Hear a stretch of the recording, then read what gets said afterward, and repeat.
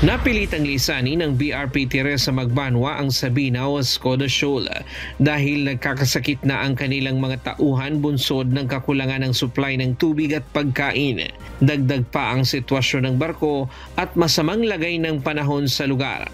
Gayunman, ayon sa PCG, hindi anya ito nangangahulugang inabandona na nila ang Skoda Tuloy pa rin naman ang kanilang pagbabantay sa lugar at agad rin naman silang magpapadala ng barko doon kapalit ng BRP Teresa Magbanwa.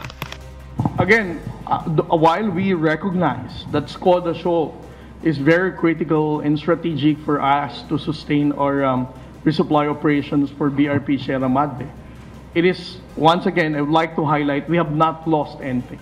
We can still patrol and maintain our presence Skoda Shoal. So there's no difficulty that you are um, um, saying since uh, Chinese will be there.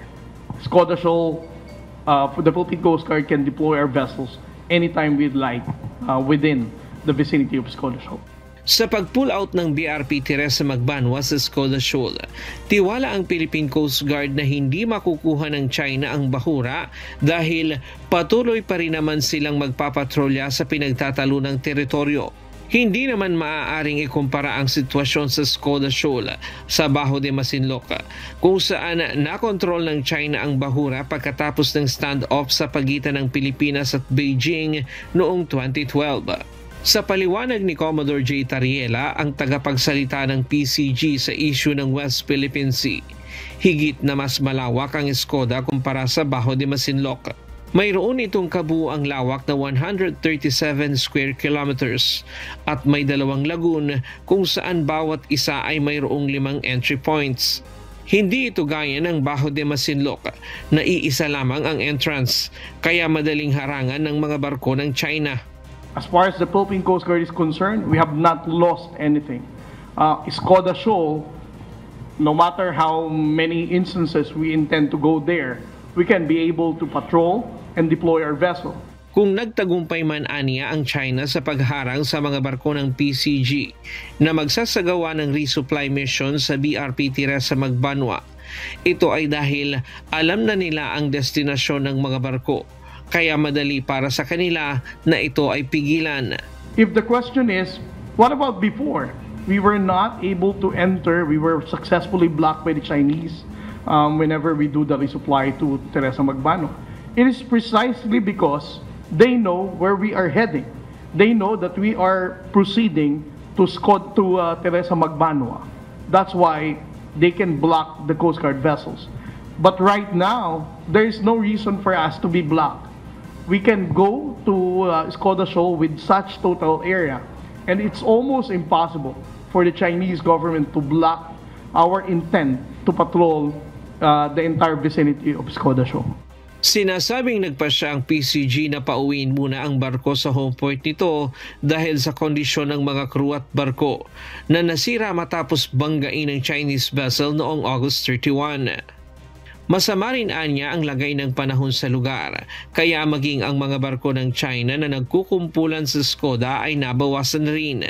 Sa huling monitoring ng PCG, Nasa labing isang Chinese maritime militia vessel na lamang ito at wala na roon ang mga barko ng Chinese Coast Guard, PLA Navy, maging ang kanilang hospital ship. Ang mga Chinese uh, maritime forces, kung ano man ang lakas ng alon, pangit na panahon na pinagdadaanan ng Teresa Magbanwa when uh, she was in Skoda Shoal, that doesn't make them invincible. Kung anong pinagdaanan natin, yun din ang pinagdadaanan nila uh, regarding sa malalaking alon, uh, malakas na hangin, malakas na buhos ng ulan. This is the same thing that they have experienced. What I can um, what I can say is that we have monitored also that um, the Chinese Coast Guard vessels uh, who were there have also significantly diminished because of the very bad sea condition in that area. Batay sa kanilang monitoring, inabot ng hanggang apat na taon bago matapos ang reklamasyon sa ibang maritime features sa West Philippine Sea na inuko ng China.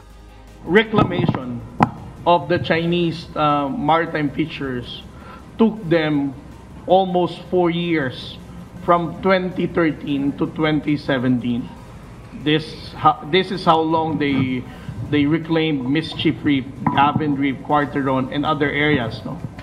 Hindi naman siguro marireclaim yan kung in just a matter of hours na wala tayo. Ryan Lacanlale, UNTV News and Rescue. Diyos ang aming sandigan, serbisyo publiko ang aming pinahahalagahan.